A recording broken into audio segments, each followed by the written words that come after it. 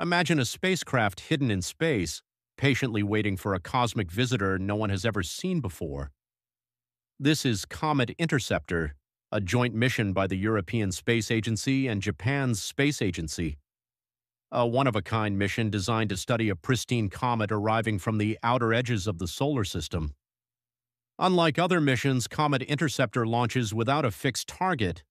Scheduled for launch in 2029, it will wait in a stable location in space until a suitable comet is discovered.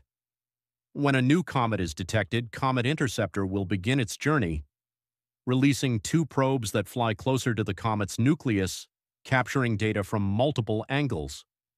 This mission could reveal what the original building blocks of the solar system were like and may even allow scientists to study an interstellar object for the first time.